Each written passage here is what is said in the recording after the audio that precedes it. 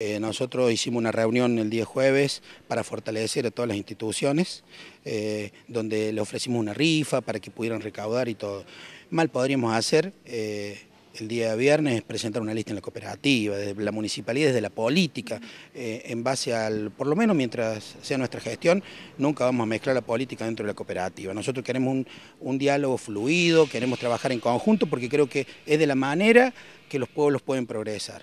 Eh, en base a eso, yo qué puedo decir, no, hay ninguna lista, ustedes han visto, ha salido la lista eh, a relucir, eh, la otra lista, y bueno, no hay ninguna persona de la municipalidad, esto lo dejo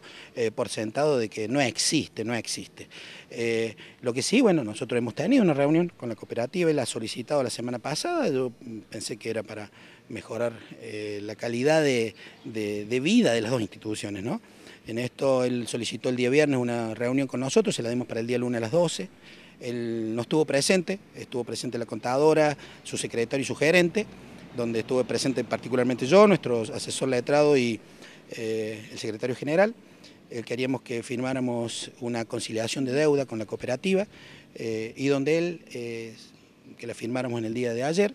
no, no, trajeron los comprobantes, no trajeron absolutamente nada y bueno, nosotros le pedimos de que trajeran los comprobantes para poder conciliar eh, prácticamente un millón cien mil pesos entre deudas y acreencias. En base a eso, el día jueves o el día viernes ellos van a traer todos los comprobantes según lo que dicen eh,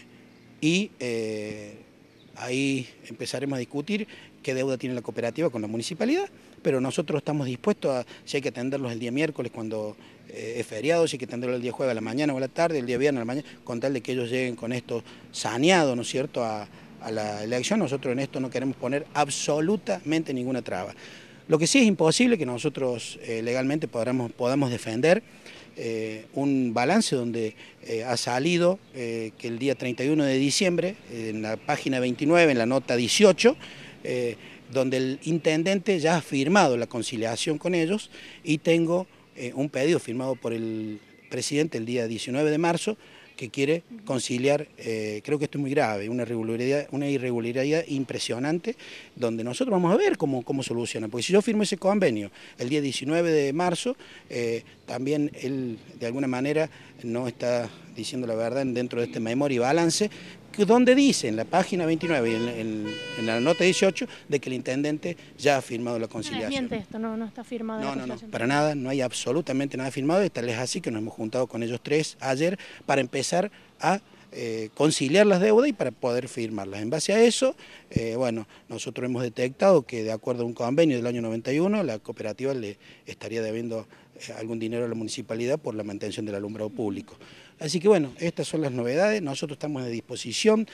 nosotros defendemos la institución de la municipalidad como, como propia, pero en base a eso queremos defender las dos instituciones y queremos alejarnos de todo tipo de, de inconveniente y máxima una semana de las elecciones. Esto ocurre porque él me pide la reunión para esta semana, ojalá lo hubiésemos hecho en noviembre y diciembre y la municipalidad no hubiese tenido ni siquiera que aparecer en estos días con relación a la elección. Tiene una elección difícil, él tiene una elección complicada, pero bueno, en base a eso nosotros queremos dejar de plano que la municipalidad no tiene absolutamente nada que ver.